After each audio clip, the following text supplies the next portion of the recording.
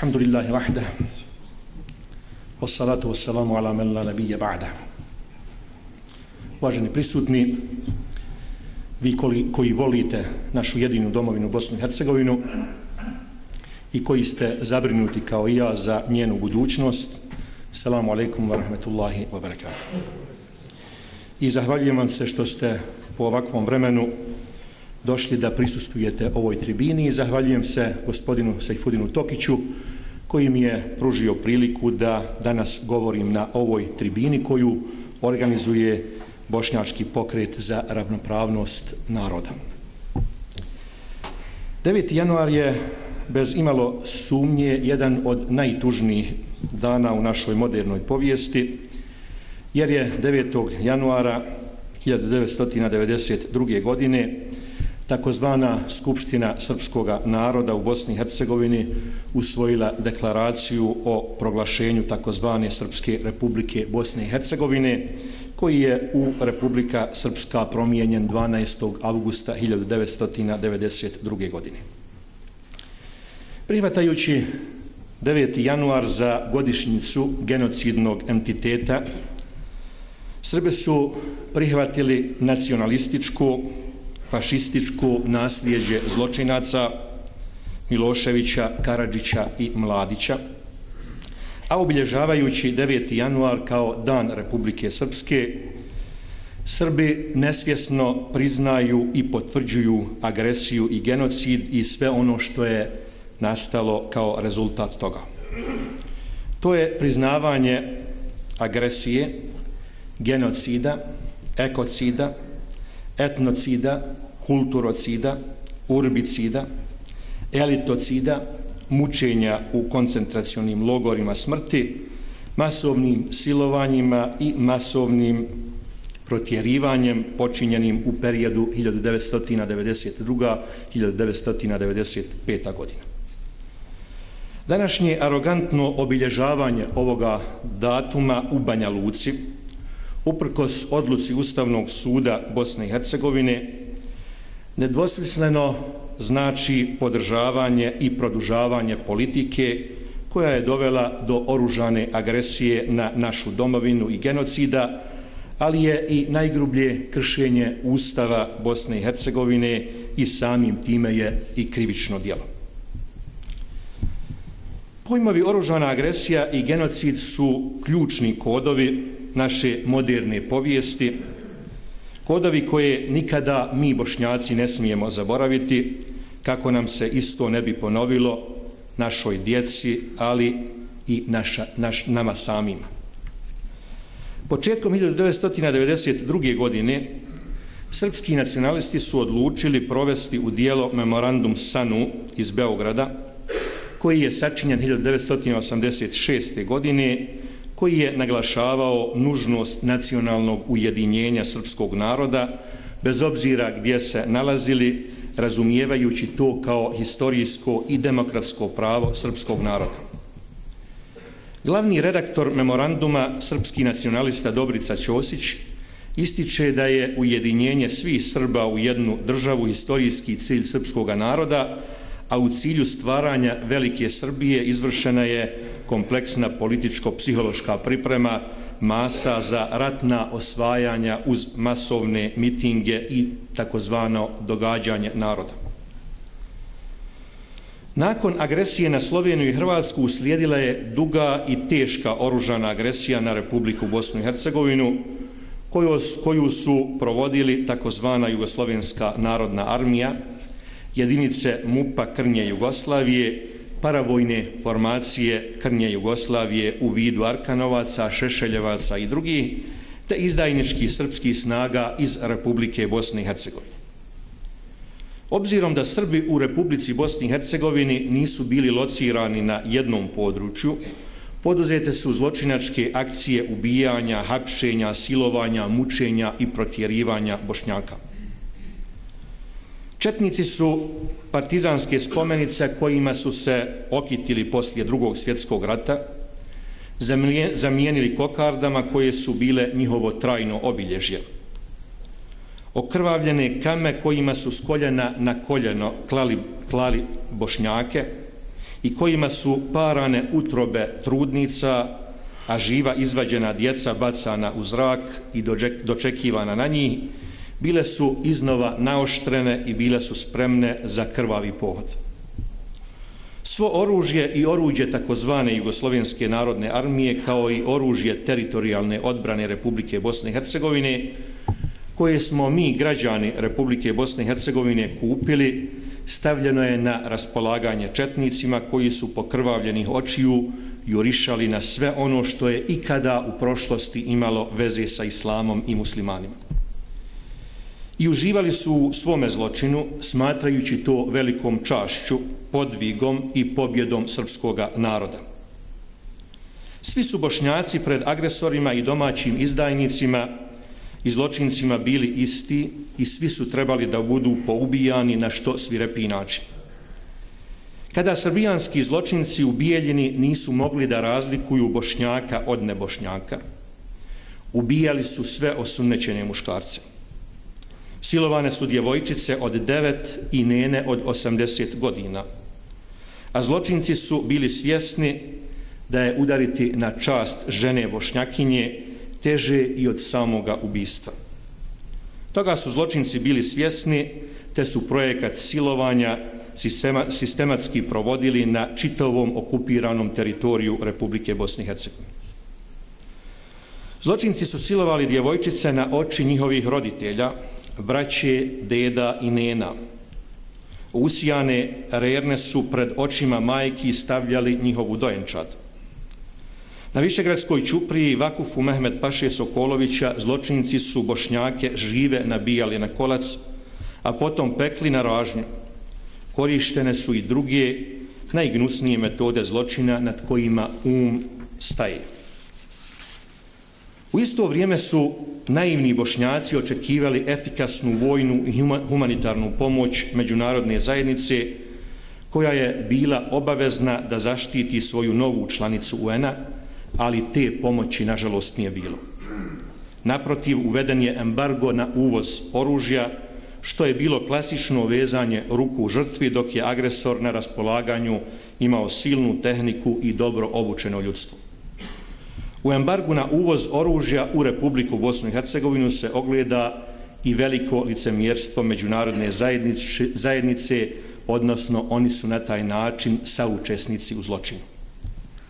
U tako teškom historijskom trenutku u krvi i kricima vlastitog naroda rodile se jedinice MUPA Republike Bosne i Hercegovine i Armija Republike Bosne i Hercegovine i iste su pokazale najviši stupanj hrabrosti, morala i spremnosti da se bore za najviše ciljeve koji ostaju kao univerzalna vrijednost, a u redovima Armije Republike Bosne i Hercegovine i MUPA je bilo mjesta za sve one koji su željeli da pokažu svoj patriotizam prema domovi. Naš vrhovni komandant Alija Izetbegović je napisao Mi smo svijetu priredili dva šoka. Prvi je bio taj naš otpor, naša žilavost. Očekivali su da ćemo biti razbijeni za dvadesetak dana, a grmljavina našeg otpora čula se do neba. To čudo bosanskog otpora potpuno neučekivanog, kad mi ne samo da nismo poraženi i ne da se uspješno pripremam, op, e, opirjemo, nego smo, hvala Bogu, svaki dan sve jači, dok je neprijatelj, iako jak, svaki dan slabiji. U ovom ratu skoro svi zakoni rata su poraženi sa njihove strane, ne sa naše. Drugi šok je taj da se kultura ili ljudskost našla na našoj, a ne na njihovoj strani. Ako će već neko rušiti bogomolje, mostove, kulturne spomenike, ubijati žene i djecu, Evropa bi to očekivala od bosanaca. Zašto? Pa tako je pisalo u njenim knjigama. To su te zablude širene stotinama godina. Mi smo za njih bili poludivlji svijet, porijeklom s istoka, azijati neki, ali dogodilo se upravo da su oni, oni od koji su očekivali kulturu, narodi evropske provenijencije ubijali nejač, rušili džamije, mostove. Mi to nismo radili. I kazao je, Naša zemlja i naš narod bili su osuđeni na uništenje. Sam naš opstanak je naša pobjeda. A onda je kazao, sačuvana saborska crkva u Sarajevu i srušena džamija Ferhadija u Banja Luci govore sve o nama i o njima. Ovi kameni svjedoci ne lažu i mogu stati nasuprot sve njihove propagande. I kada putujem u Evropu, nikada ne hodam sagnute glave, zato što mi nismo ubijali žene i starce i djecu i zato što nismo napali niti srušili niti jednu njihovu bogomolju.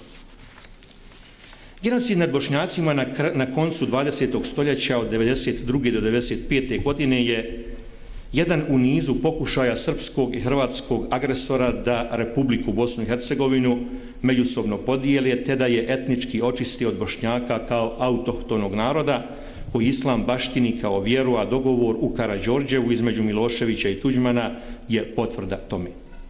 Srpski i hrvatski agresori su u ime velikosrpskih i velikohrvatskih ciljeva počinili zločin nad onima koji su za njih potorice, balije ili muslimani bošnjaci. Genocid nad bošnjacima na cijelom prostoru Republike Bosne i Hercegovine, a posebno u takozvanim zaštićenim zonama Srebrenici, Žepi, Goraždu i Bihaću, događao se na očigled cijeloga svijeta i to bošnjaci ne smiju nikada zaboraviti. Jer zaborav je jedan od najsvirepijih i najbezdušnijih neprijatelja jednoga naroda. Bošnjaci su samo zato što su muslimani, a ne, na primjer, kršćani, ili ateisti bili predmetom neviđenog genocida koji je imao za cilj njihovo biološko istrebljenje kao i zatiranje njihovih vjerskih, kulturnih i svih drugih obilježja.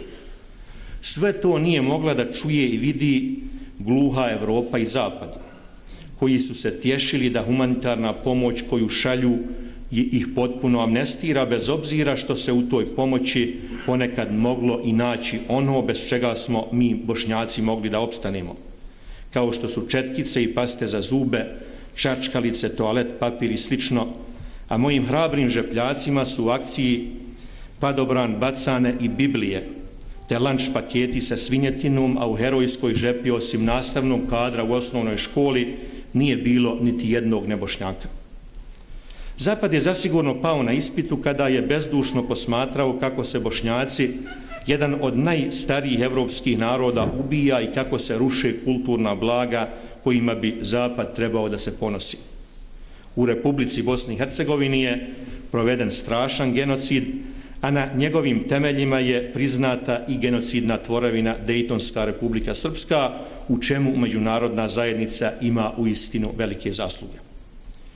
I zaboravili su zločinci i zaboravila je i međunarodna zajednica – da su za te sve zločine ostali živi svjedoci.